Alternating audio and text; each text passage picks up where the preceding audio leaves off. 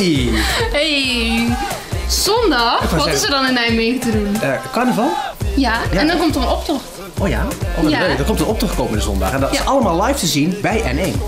Vanaf twee uur. En dan komen alle praalwagens langs in de optocht. Ja, dus je moet echt gaan kijken. Zondag vanaf 2 uur zie je het beste wat Nijmegen te bieden heeft op tv. Ja, je ziet ons ook voorbij komen. Echt waar?